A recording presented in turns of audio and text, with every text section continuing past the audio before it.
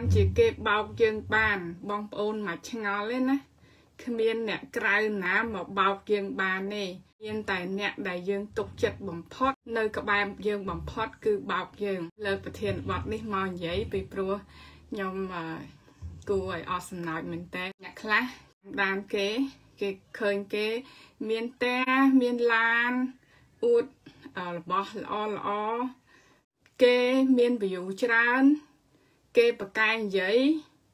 គេបកកែទ្រឹស្ដីគឺទៅតាមគេអត់មើលថាម្នាក់នឹងចែកម្លែកដោយបេះដូងដែរឬអត់គាត់និយាយនឹងពិតប្រកបដែរឬអត់បងប្អូនតាមដាន teacher គឹមយ៉ានបងប្អូនឃើញហើយគឺធម្មតាធម្មតាហើយក៏មិនដែលមានអ្នកណាល្បីថា teacher គឹមយ៉ានបោកគេដែរគឺអ្នកដែលត្រូវគេបោកពីភ័យ គិតថាគេមាន ចូលទៅរកស៊ីជាមួយគេគិតថាគេមាន view ច្រើនប្រកាសថាគេរកលុយបាន ហើយអត់តាមដានទេសម្រាប់ខ្ញុំ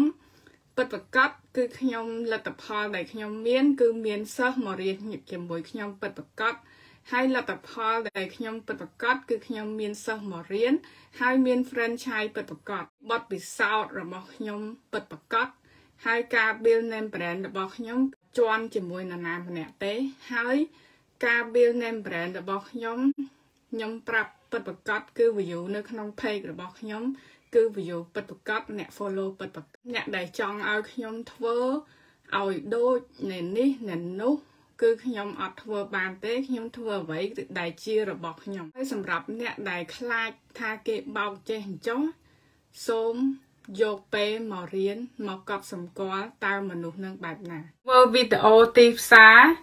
សាងកេរឈ្មោះសាងប្រាក់ចំណូលឥតដែនកំណត់ព័ត៌មានបន្ថែមអាច comment នៅក្រោមវីដេអូនេះឬក៏ inbox មកគីមយ៉ានូខ្មែរហ៊ាន live ព្រោះមិនស្អាតលែងមានបញ្ហាទៀតហើយជឿជាក់